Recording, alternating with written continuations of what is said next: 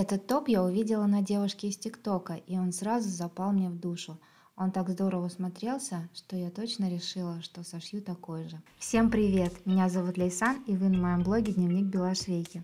Сегодня вас ждет пошаговый мастер-класс выкройка кроп-топа из трикотажа. Ткань для пошива мне не понадобилась, я воспользовалась остатками трикотажа после пошива пижамы. Я лишь прогулялась в магазин ткани, чтобы приобрести цепь. Ее продают метражом. Моя золотая цепочка обошлась мне около 100 рублей. Это были все затраты на пошив. Чтобы построить выкройку, надо снять мерку обхват груди. Ширина полочки – это обхват груди, деленный пополам, минус 0,5 см а высота 24. Таких деталей понадобится две штуки. Спинка – одна деталь, Ширина равна ширине полочки минус 6 см, а высота 22 см. Также понадобится одна полоска. Из трикотажной кулирки выкраиваю полоску 3 на 30 см, соединяю ее на оверлоке. Если нет оверлока, шейте на швейной машинке. Затем кончик оверлочной строчки зацепляю за булавку и булавку провожу через тоннельчик. Таким образом полоска выворачивается на лицевую сторону. На выкройке спинки обметываю верхний и нижний срез на оверлоке. Разрезаю трикотажную полоску на 4 части. Это крючки для будущих бретелей. От верхнего края спинки отмеряю по 11 см в обе стороны. Нижний срез подгибаю на 1 см и пришиваю подгибку на машинке. А по верхнему краю на меловых отметках Вставляю крючки для бретелей. Беру отрезок бельевой резинки на 6 сантиметров короче верхнего среза спинки и провожу резинку через тоннельчик. Кстати, после примерки я вставила резинку также в нижний срез. Не забудьте это сделать. Закрепляю концы резинок по краям булавками. Переворачиваю крючок на лицевую сторону и закрепляю ручными стежками.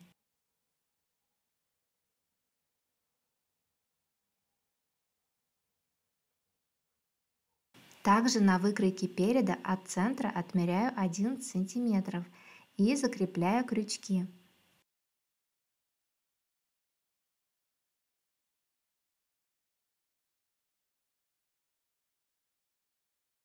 Сейчас можете заметить, что в пошиве участвует также трикотаж другого цвета.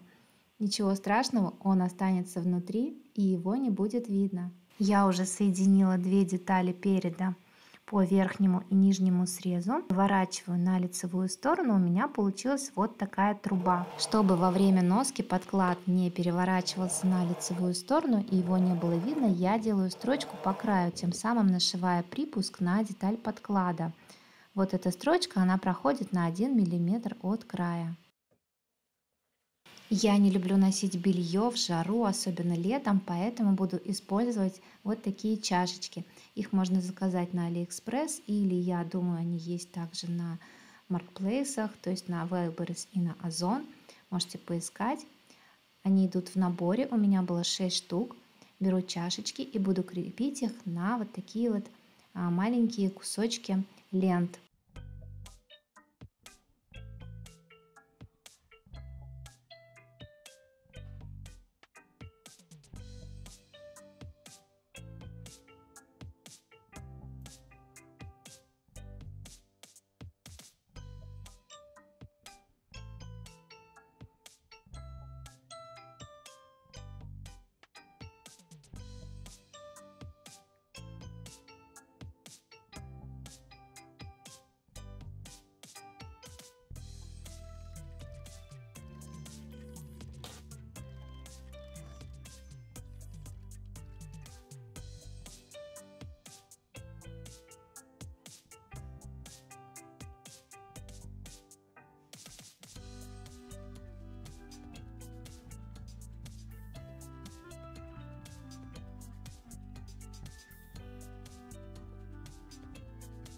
Сейчас можно соединить выкройки переда и спинки между собой по боковым срезам, что я и делаю.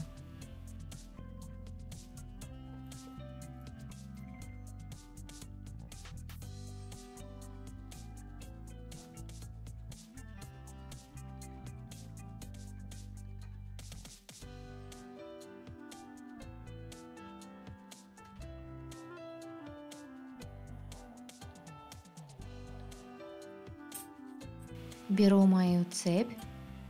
Вот так она выглядит. Звенья крупные. Я знаю также, что есть разные цепочки. Можно выбрать с мелкими звеньями. Мне понравилась именно вот такая. Делю ее на две части и буду прикреплять. Крепится она очень легко, разъединяется пальчиками и нужно зацепить вот за эти трикотажные крючки, которые я делала по переду и спинке.